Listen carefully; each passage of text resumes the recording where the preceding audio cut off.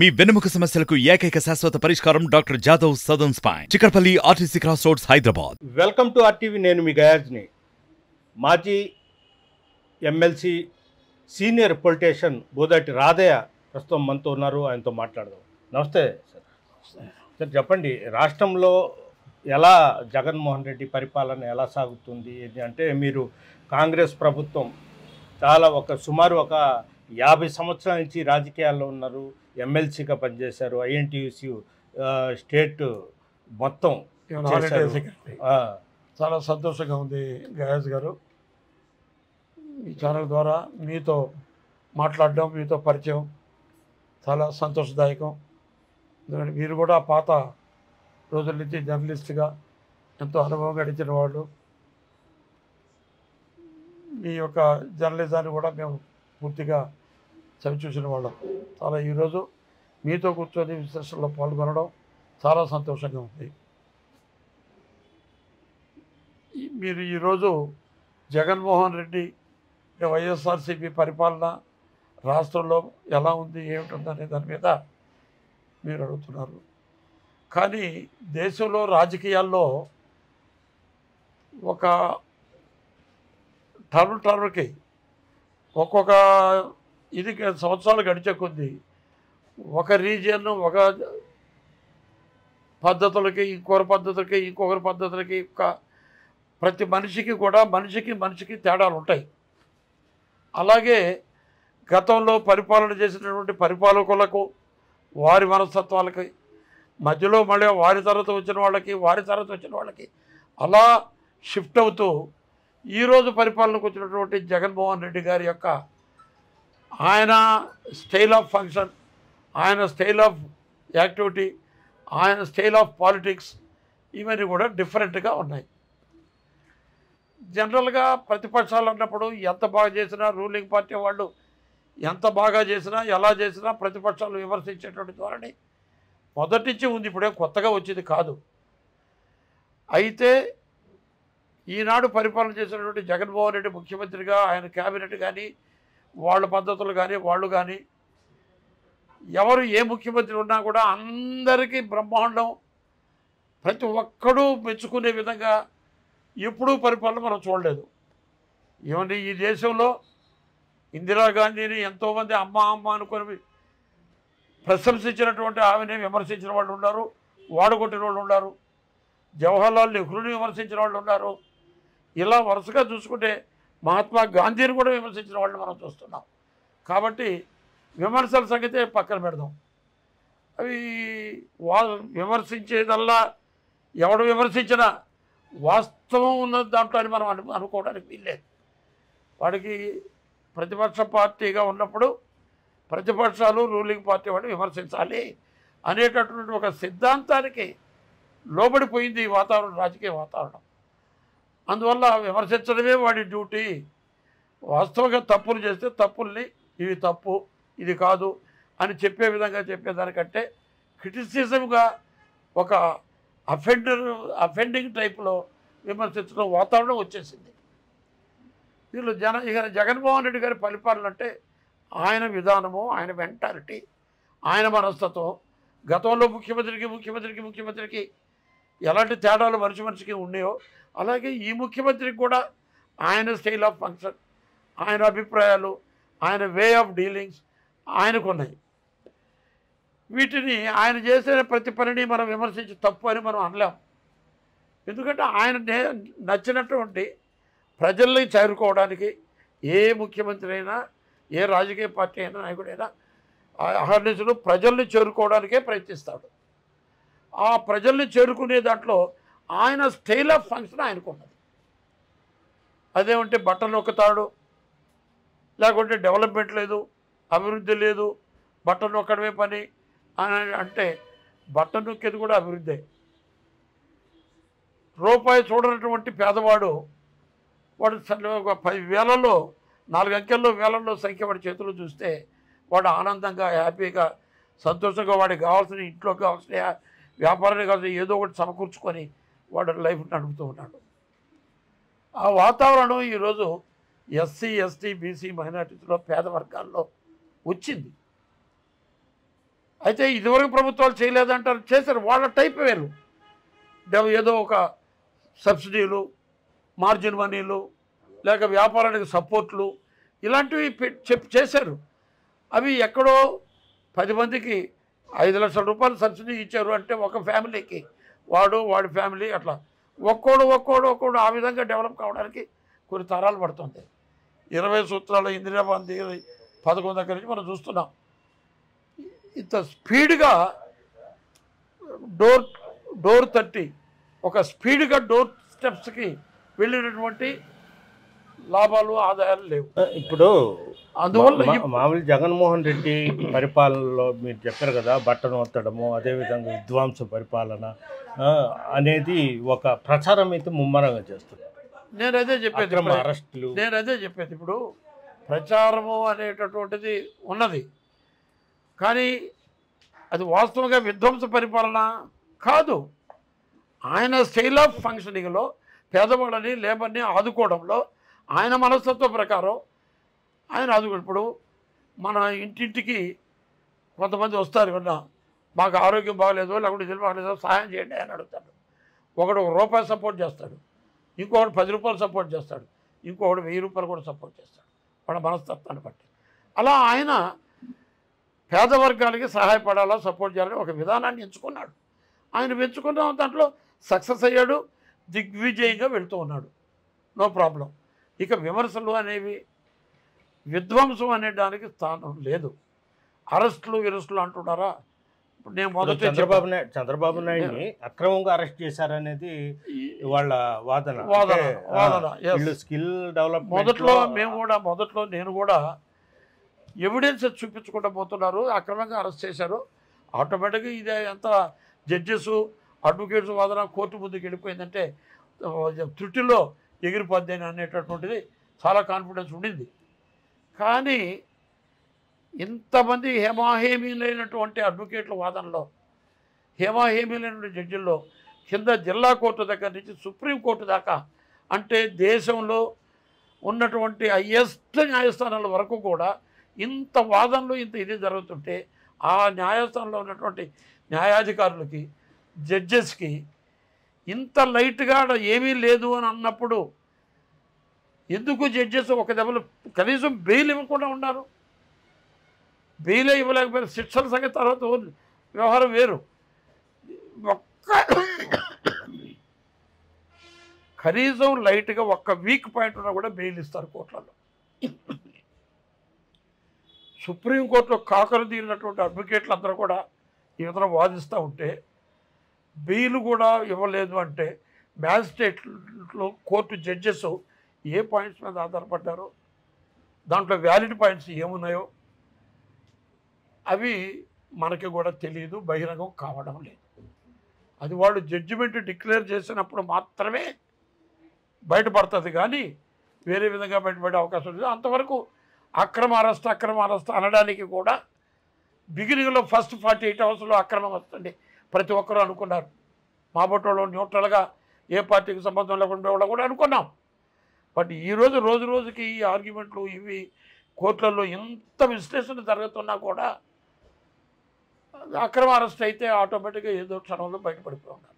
కావడం లేదంటే there is something కాగ్నిజబిలిటీ ఆ కాగ్నిజబిలిటీ అనేటటువంటి ఉంది కాబట్టి ఇది ఇంతవరకు కూడా బెయిల్ రావడం కూడా కష్టంగా ఉంది స్క్వాష్ పిటిషన్ కూడా కష్టంగా ఉంది. స్క్వాష్ పిటిషన్స్ అనేవి జనరల్గా తుమ్మాకుతో పేరుకున్నట్టు ఒక రెండు నిమిషాలు మామూలుగా ఎన్నో స్క్వాష్ పిటిషన్లు చూసాం అటు కోర్టులో వేస్తున్నా ఒకటి రెండు వాయిదాలు స్క్రాష్ అయిపోయినాయి. చాలా వాటిల్లో అయిపోయింది ఇది అంత సులభంగా కావట్లేదు. దీన్ని మరి పూర్తిగా విశ్లేషించడానికి అవుట్ సైడర్గా మా శక్తి చాలదు అవుట్ సైడర్గా మనం మొదట్లో అనుకున్నంత ఇది బోగస్ వేస్ట్ కావాలని కావాలని అనడానికి ఆస్కారం కనపడ్డా మీరు ఎక్కువగా అంటే మీ ఎక్కువ కాలం అంటే నేదురుమల్లి జనార్దన్ రెడ్డి మల్లి చెన్నారెడ్డి నా- జలగం వెంగళరావు దగ్గర నుంచి అందరు ముఖ్యమంత్రులతో నాకు సంబంధాలు ఉన్నాయి సంబంధాలు అందరితో చూశాను. పనిచేశారు అంటే కాంగ్రెస్ పార్టీ ఎందువల్ల రాష్ట్రంలో అసలు పూర్తిగా కనుమరుగైపోయింది? కనుమరుగు అవడానికి కారణం ఒకటే రాజకీయ నాయకులు ఫీల్డ్ రాజకీయ నాయకుల యొక్క స్వార్థం ఆశలు ఎక్కువ దురాశలు. ఆశలు కూడా కాదు దురాశలు. ఫీల్డ్ రాజకీయ నాయకులందరూ ఎట్లా అంటే ఏ స్థాయికి వచ్చినాయంటే రాజకీయాలు. టూ ఆర్ డై ఏమన్నా చెయ్యి. డబ్బు సంపాదించాలి. డబ్బు డబ్బు డబ్బు. కోట్లాది కోట్లాది రూపాయలు డబ్బు సంపాదన హౌ? అనేది. కాంగ్రెస్ పార్టీ యొక్క విధానంలో హైకమాండ్లో బ్యాలెన్సింగ్గా పోవడం అనేటటువంటిది ఎస్సీ ఎస్టీ బీసీ మైనారిటీస్ అని లేకపోతే హిందూ మతం అని క్రిస్టియన్ మతం అని ఇస్లాం మతం అని మతాల మతాల మధ్యలో క్యాస్ట్ల మధ్యలో సంయమనంతో అందరినీ కూడా ఒక సదనమైన ఒక సరిసమానమైన భాగంలో చూసుకుంటూ ఆచి తూచి పరిపాలన చేసే విధానం కాంగ్రెస్ పార్టీది. దూకుడు విధానం కాంగ్రెస్ పార్టీకి లేదు. కానీ ఈ ఈ రాజకీయంగా ఉన్నటువంటి ఫీల్డ్లో ఉన్నటువంటి నాయకులకి దే రిక్వైర్ దూకుడు విధానం కావాలి వాళ్ళకి. స్పీడ్ అయిపోవాలా? ఈరోజు కౌన్సిలర్ అయిపోయామంటే కోట్లకు అధిపతి ఎట్లా? ఎంత తొందరగా కావాలా? ఏం వనరులు ఉన్నాయి? ఏం ఆదాయాలు ఉన్నాయి ఆ స్పీడ్ కావాలి. దానిలో వాళ్ళ స్పీడ్ అందుకోవడంలో కాంగ్రెస్ పార్టీ విఫలమైంది. వాళ్ళు సిద్ధాంతం మీదనే కట్టుబడి ఉన్నారు మంచి మీదనే కట్టుబడి ఉన్నారు కాబట్టి వాళ్ళు వీళ్ళ స్పీడ్ అందుకోలేక వీళ్ళ దానిలో నడవలేక వాళ్ళ స్లోనెస్ వీళ్ళకి నచ్చక ఈరోజు కాంగ్రెస్ పార్టీ ఇది. ఎవరికి ఒకడికి అన్యాయం చేసింది. కాంగ్రెస్ పార్టీ వీడికి అన్యాయం చేసింది కాబట్టి నేను దూరం అవుతాను. నేను దీన్ని అణిచేస్తాను పద్ధతి ఎక్కడ కనపడ్డం మన రాష్ట్రంలో విభజన తర్వాతే పూర్తిగా ఇదైపోయింది. ఇప్పుడిప్పుడు తెలంగాణలో పుంజుకొనికి ఆంధ్రాలో చూస్తే అసలు ఎక్కడ? ఎస్ ఐ టెల్ యూ మంచి పాయింట్ చాలా రోజుల నుంచి నా మైండ్లో మెదలుతున్నటువంటి పాయింట్ మీరు చెప్పారు అడిగారు. చాలా ఇది ప్రజల్లోకి పబ్లిక్లోకి క్షుణ్ణంగా అర్థం చేసుకోవాల్సినటువంటి సబ్జెక్ట్స్ జై తెలంగాణ ఉద్యమం అనేది జలగం వెంకటరావు మర్రి చెన్నారెడ్డి వాళ్ళ హయాంలోనే జై తెలంగాణ ఉద్యమం రైజ్ అయింది. ఆనాడు మేమందరం హైదరాబాద్లో ఉన్నాం. వెరీ క్లోజ్ టచ్తో ఉన్నాం హైదరాబాద్లో. బాగా పార్టీ రాజకీయాల్లో ఉన్నాం. హైదరాబాదులో మొత్తం హైదరాబాదు ఆంధ్ర అనేటువంటి దానికి ఉన్నాం. కానీ ఆ రోజు జాగో బాగో అని ఆంధ్ర కొడకల్లారా చంపుతాం వెళ్ళండి అని లాస్ట్గా మర్రిచన్నారెడ్డి గారి హయాంలో ఆంధ్ర వాడు చిన్న కిళ్ళి బొంకు దగ్గర నుంచి తాజ్ కృష్ణ తాజ్ బజార్ లాంటి హయ్యెస్ట్ ఫైవ్ స్టార్ హోటల్స్ వరకు కూడా నల్ల గుడ్డలు తీసుకొచ్చి లైట్లు ఆరిపేసి నల్ల గుడ్డలతో కప్పేసుకొని మూసుకొని ఇళ్ళలో కూర్చున్నటువంటి రోజులు ఇవి. కనీసం దారిలో పోయేటప్పుడు కూడా తెలంగాణ గురించి కానీ ఎవరు ఇది ఎక్కువగా నోరు తెచ్చి మాట్లాడేది లేదు. నేను కళ్ళు నా కళ్ళ ముందు జరిగినటువంటి ఘోరాలు రెండు మీకు చెప్తే ఆశ్చర్యపోతారు. ముళ్ళపూడి వెంకటరమణ హరిశ్చంద్ర ప్రసాద్ హాస్పిటల్ కా కమాన్ దగ్గర కోకట్పల్లి దగ్గర భార్యాభర్త ఇద్దరు ఫస్ట్ షో సినిమాకి వెళ్ళి సినిమా చూసుకొని మాట్లాడుకుంటూ ఆయాలదాలకంగా భార్యాభర్త ఇద్దరు స్కూటర్లో వెళ్తున్నారు. వెళ్ళే టైంలో అంతకుముందు ఈ భర్త ఎందుక ఈ తెలంగాణ ఉద్యమాలు ఇవన్నీ ఏందా ఈ భాష అని ఎక్కడో కామెంట్ చేశాడని వాళ్ళకి ఆడ నిలబడ్డటువంటి ఆ సెంట్రల్ గ్రూప్కి తెలిస్తే ఆ గ్రూప్లో కుర్రోడు జనంలో ఆ స్కూటర్లో పోయే వ్యక్తి ఇదిగో వీడేనాయో నిన్న కామెంట్ చేశాడని ఒక్క మాట అంటే టక్కన స్కూటర్ ఆపారు. ఆ అమ్మాయిని దించేశారు కింద. వాడిని పట్టుకున్నారు. పక్కన ఉన్న కరెంటు స్తంభాన్ని కట్టేశారు. వాడి భార్యని భర్త ముందే భర్తని స్తంభాన్ని కట్టేసి నడి వీధి సెంటర్లో చీర లాగేసి జాకెట్ లాగేసి ప- సంజట పట్టుకొని నెత్తురుచ్చేటట్టు బుగ్గ కొరికి వదిలిపెట్టారు. పరిగెత్తి పరిగెత్తి అమ్మాయి ఆ వీధిలో లాస్ట్లో. ఏం చేయాలనో అర్థం కాక ఆ వీధిలో చివరిన రైట్ సైడ్ ఒక ఇంటి దగ్గర ముందే బావి కనబడితే దూకేసింది బాగా. చచ్చిపోయింది. ఈరోజు కూడా మాకు ఆ దృశ్యం కళ్ళ ముందు కనిపితే మాకు మేము ఆ బాధ భరించలేము. ఆవేదన కలగద్దు మాకు. ఇలాంటి ఇన్సిడెంట్స్ బోర్డు జరిగాయి ఆడ. స్టేట్ గవర్నమెంట్ పరిపాలన లేదు. కంట్రోల్ చేయలేకపోయింది. మహాతల్లి ఐరన్ లేడీ. ఇందిరాగాంధీ దృష్టికి పోయిన తర్వాత ఇందిరాగాంధీ మేమందరం హైదరాబాద్ ఇళ్ళలో రూమ్లో ఉన్నాం. తెల్లవారు నాలుగు గంటలకల్లా వీధుల్లో ప్రతి వీధి చూసిన టప్ప టప్ప టప్ప టప్ప బూట్లు సౌండ్లు వచ్చినాయి. ఏందని బయటకు వచ్చి అట్లా చూస్తే పోలీస్ మిలిటరీ ఒక్క దెబ్బతో ఇరవై నాలుగు గంటల్లో అణిచాడు బారేసింది. సైలెంట్ అయిపోయింది. తర్వాత ఇక మరి చల్లారెడ్డి కూడా కాళ్ళబేరానికి వచ్చాడు. ఉద్యమం ఆగిపోయింది. అందరూ మళ్ళీ షాపులు నార్మల్సీ చేసుకున్నారు. ఆ తర్వాత మళ్ళీ రెండోసారి మళ్ళీ అనవసరంగా ఒక విధంగా చెప్పాలంటే I blame YS Rajasekhar Reddy. మీరు చంద్రబాబు నాయుడు పరిపాలనలో చంద్రబాబు నాయుడు దెబ్బ కొట్టాలని మైండ్లో పెట్టుకొని డాక్టర్ చిన్నారెడ్డి కాంగ్రెస్ పార్టీ ఎమ్మెల్యేని తీసుకొచ్చి నలభై మంది ఎమ్మెల్యేలతో ఒక ఎం- నలభై మంది ఎమ్మెల్యేలతో ఒక బ్యాచ్ ఒక టీంని పెట్టి తెలంగాణ రాష్ట్ర సమితి అని తెలంగాణ ప్రజా సమితి అని పెట్టి తెలంగాణ ఉద్యమం రేపారు. తెలంగాణ ఉద్యమం రేపారు. ఆ తెలంగాణ ఉద్యమంలో ఆ రేపి ఢిల్లీకి తీసుకెళ్ళి తెలంగాణ ఉద్యమాన్ని మళ్ళీ రేపినటువంటి సందర్భంలో కేసీఆర్ గారు చంద్రబాబు నాయుడుకి కేసీఆర్కి డిఫరెన్స్ రావడం కేసీఆర్ను వదిలేసి కేసీఆర్ చంద్రబాబును వదిలేసి తెలంగాణ రాష్ట్రం దీంట్లో దూరి తెలంగాణ ఉద్యోగంలో పడ్డారు. మీరు వెనక్కి అయిపోయారు అతను ముందు పడిపోయాడు. ఇక మళ్ళీ ఉద్యమం రేగింది. ఆఖరి ఆంధ్ర కొడకలరా జాగో బాగోరి దగ్గరకు వచ్చింది. నేను ఒకరోజు దోమల బ్యాట్ కొన్నాం ఒక ఫ్యాన్సీ షాప్లో. దోమల బ్యాట్ కొని టెస్ట్ చేసి ఇవ్వయా నేను కారులో కూర్చొని ఉన్నా. ఇచ్చాడు తీసుకొని ఇంటికి వెళ్ళా ఇంటికి వెళ్ళి నేను ఒకసారి చెక్ చేద్దామని టెస్ట్ చేస్తే బ్యాట్ పనిచేయలే వెంటనే మళ్ళీ మా బజార్కి వచ్చా. బజార్కి వచ్చి ఆ షాప్ కాడికి వచ్చి ఏమై బ్యాట్ పనిచేయడం లేదు టెస్ట్ చేసి ఇచ్చాను కదండి. చేసి ఇచ్చావా? ఇంటికి వెళ్ళాను ఇల్లు వంద మీటర్లు లేదు నా ఇల్లును బజారు. అంటే వాడు ఏమన్నాడు తెలుసా? ఈ ఆంధ్ర కొడకలతో వచ్చినటువంటి ఇబ్బంది ఇదే అన్నాడు. అరే నీ పాసుగా నువ్వు ఇచ్చిన బ్యాట్ నేను కొన్నా పని చేయడం లేదని నీకు రిటర్న్ ఇవ్వడానికి వస్తే ఆంధ్ర కొడుకులేంది తెలంగాణ అయింది ఆంధ్ర అయింది ఏమిట్రా నువ్వు మాట్లాడేది? అని గొడవ పెద్దది. ఆఖరికి నేను పోలీసుల దాకా ఫోన్ చేసి పోలీసులు పిలిపించి ఆఖరికి ఈ టెస్టింగ్ కూడా పిలిపించి వాడు వస్తువులతో కూడా టెస్ట్ చేసి నేను యాక్షన్ తీసుకోవాల్సి వచ్చింది. సందర్భం. కేసీఆర్ ఉద్యమంలో. ఈ కేసీఆర్ ఈ ఉద్యమంలో మళ్ళీ అగైన్ వచ్చింది. రెండు వేల ఇంపార్టెంట్ వీక్ ఏంటంటే రెండు వేల తొమ్మిదిలో తిరిగి ఎలక్షన్స్ రా రాబోతున్నాయి. సోనియా గాంధీ గారు ఆంధ్రాలో ఉన్న లీడర్ని ఎంపీల్ని రాజ్యసభ మెంబర్ని ఎమ్మెల్యేలని ఎమ్మెల్సీలు అందరిని పిలిచింది. పోయిన వాళ్ళ వరకు ఢిల్లీకి పోయిన వరకు వన్ టు వన్ ఆమె ఇలాగే కూర్చొని వన్ టు వన్ వాళ్ళ సలహా అడిగింది. నేను I have gone there to Sonia Gandhi along with my president mister G Sanjeev Reddy.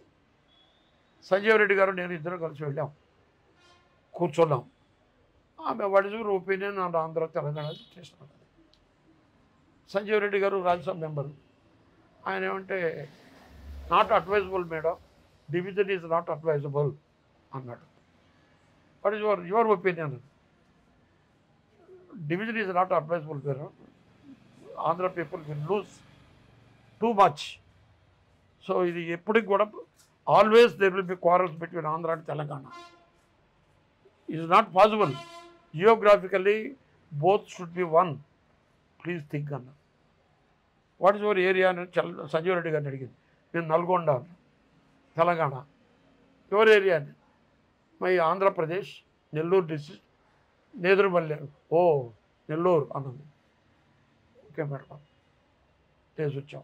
కానీ ఆమె ఒప్పి ఆమె ఒక్క ఫైనల్గా ఏమన్నది? మేము లేచాం పైకి. ఏమన్నదంటే why should you suffer too much in Andhra, the Telangana hands. I have seen even previous association also. So it is better as a brotherly, you can divide and you can develop your own uh, state like anything. You got thousand, approximately 1000 kilometers seashore, you can develop. Dubai developed due to sea. Singapore developed based on the sea. Even in our country, Bombay developed based on sea. You got uh, so much amenities so why can't you think so you have to take decision madam అని అనేసి వచ్చేసాం అప్పుడే మేము బయట వచ్చినప్పుడు సోనియా గాంధీ ఈ idea ఈ మాటలు మాట్లాడిందంటే ఆమె ఆల్రెడీ మైండ్లో ఏదంటే మంచిగా ఎందుకు వాడి చేత హింసించుకోబడడం మీరు కొట్టించుకోవడం తిట్టించుకోవడం మీరు అందరూ బతికారు మీ మీ వ్యాపారాన్ని అక్కడ ఉండే వాళ్ళ చేత హింసిస్తున్నారు?